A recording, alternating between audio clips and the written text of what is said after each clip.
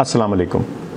मैं आज मुखातिब हूँ उन तमाम नौजवान तालब इलमों से जिन्होंने एम डी कैट का इम्तहान दिया और उनके वालदेन से जो इस इम्तहान के बारे में कुछ तहफ़ात और परेशानियाँ रखते हैं।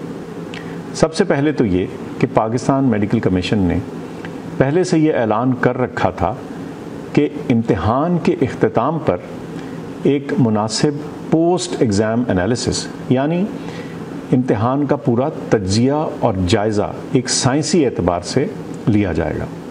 ये तो उनका प्लान था ही। लेकिन मेरी उनसे दरख्वास्त थी कि ये ऐसा तजिया और एनालिसिस थर्ड पार्टी से कराया जाए ताकि इस मामले में एक शफाफियत भी रहे और इम्तहान देने वाले बच्चों और उनके वालदेन को इसके ऊपर कॉन्फिडेंस भी रहे। इस सूरत में जो पाकिस्तान मेडिकल कमीशन के प्रेसिडेंट हैं डॉक्टर अरशद तकी उन्होंने मेरी तजवीज़ को माना और कायद अज़म यूनिवर्सिटी इस्लामाबाद से दरख्वास्त की कि वो इस पोस्ट एग्ज़ाम एनालिसिस को कंडक्ट करें। मैं समझता हूँ कि इस तरह के एक बड़े और मुस्तंद इदारे का इस तरीक़ाकार में शामिल होना एक बहुत अहम कदम है और इसको, इसके ज़रिए सबको तसल्ली और कॉन्फिडेंस आएगा। जो पोस्ट एग्ज़ाम एनालिसिस करने वाला एंटिटी है, उनको इस मामले में एक फ्री हैंड दिया जाएगा और एक लिबरल अप्रोच रखी जाएगी ताकि पोस्ट एग्ज़ाम एनालिसिस में एक फेयर और बैलेंस तरीके से जो तमाम सवाल हैं और इम्तहान है, उसको एनालाइज किया जा सके।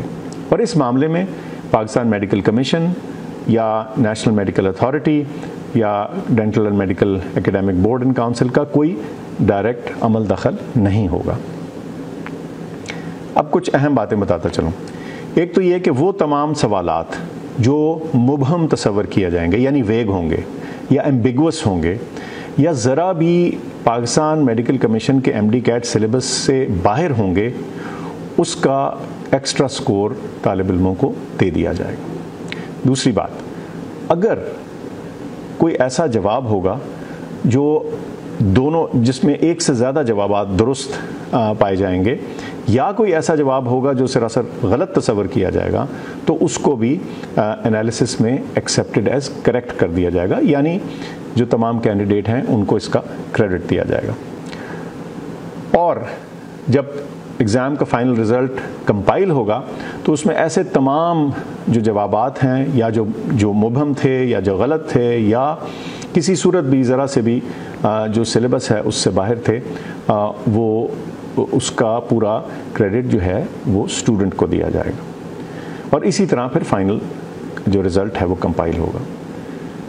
इसलिए मेरी आप तमाम से गुजारिश है कि अभी इस एनालिसिस का इंतज़ार कीजिए और आप देखेंगे कि जब ये प्रोसेस और ये तरीक़ाकार मुकम्मल हो जाएगा तो तमाम शुभात और तहफ़ात जो मौजूद हैं आज, वो दूर हो जाएँगे और सबकी तसल्ली के मुताबिक एक ऐसा शफाफ और अच्छा रिज़ल्ट होगा जिसके ऊपर हम सब भरोसा भी कर सकेंगे और हमें तसल्ली भी होगी कि हमारे आइंदा दौर के जो डॉक्टर साहिबान हैं, जो बनना चाह रहे हैं, जो ख्वाहिशमंद हैं, वो बेहतरीन और लायक तरीन लोग होंगे।